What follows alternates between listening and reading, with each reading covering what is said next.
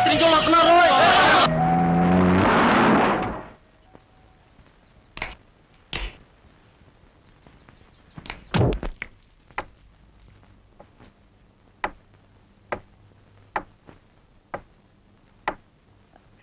excuse me yes